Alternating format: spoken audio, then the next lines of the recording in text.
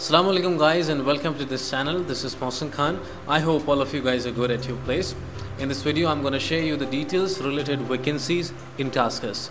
So watch out this video completely and I know कि आप Taskers join करना चाहते हैं. I will try my best to help you guys whatever I can do for you. Well guys I got the information कि Taskers is hiring for OM it means operations manager. अगर आप as a operations manager काम करना चाहते हैं Taskers में तो ये बिल्कुल सही वक्त है, आप अभी अप्लाई कर सकते हैं। तो ऑपरेशंस मैनेजर की जो ओपनिंग है, वो दो ब्रांचेस पर निकली हुई है।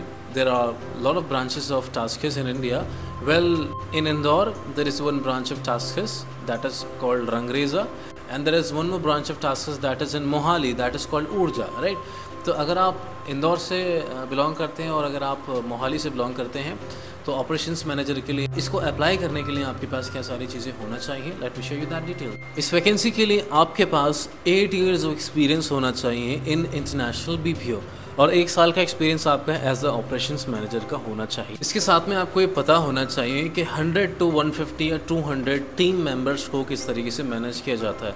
अगर आपने एज अ ऑपरेशंस मैनेजर काम किया होगा तो आपको पता होगा कि आपके अंडर 100 से 150 लोग होते हैं, जिन सबको आपको मैनेज करना होता है और उसके अंदर कुछ टीम लीडर्स होते हैं और उनकी टीम्स होती हैं। तो जो भी इशूज़ होते हैं, उस पर आपको लोगों की हेल्प करना होती है टीम को मैनेज करना होता है, क्योंकि आपके अंडर एक नहीं, काफ़ी सारे टीम्स होती हैं। एंड ओवरऑल आपके पास almost hundred two two hundred teammates होते हैं टीम मेंबर्स होते हैं जिनको आपको मैनेज करना होता है। इसके अलावा आपके पास नॉलेज होना चाहिए कि एट्रिशन और श्रिंकेज किसे कहा जाता है। अगर आपने एज ऑपरेशन मैनेजर काम करा है तो मुझे उम्मीद है कि आपको पता होगा कि एट्रिशन और श्रिंकेज किसे कहते हैं। वेल well, इस टॉपिक पर मैं ज़रूर एक डिटेल वीडियो बनाऊँगा जिसमें मैं आपको बताऊँगा एट्रिशन और श्रिंकेज किसे कहते हैं। Now there is most important thing that is your communication skill if you have good communication skills i say welcome to the taskers. If you're fulfilling all the requirements of taskers then you're welcome to the taskers. But if you don't have the good communication skill i urge you to pay attention on your communication skill because communication skills are very important when you are performing interview in taskers. You must have the fluency in english language. So if you want to improvise your communication skills if you don't have any uh, teacher any trainer I'm here to help you for that also. You just contact me on Instagram. I'm going to help you that how you can improvise your communication skills. Now, let's talk about salary.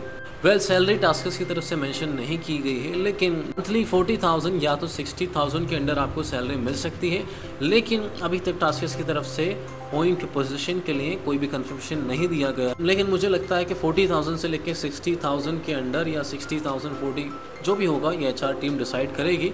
Well O M designation एक बहुत अच्छी designation होती है। और you will have lot of powers when you will become O M अब बात करते हैं कि अप्लाई कैसे करना है। अप्लाई करने के लिए आप मुझे इंस्टाग्राम पे कांटेक्ट कर सकते हैं।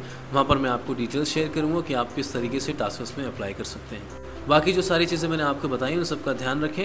And you must have your experience letter last three months of salary slip with you because you have to show all those documents to the H R well if you guys have any questions or if you want me to make video on different topics of BPO industry do let me know do comment and uh, you're gonna see me again. Thank you guys for watching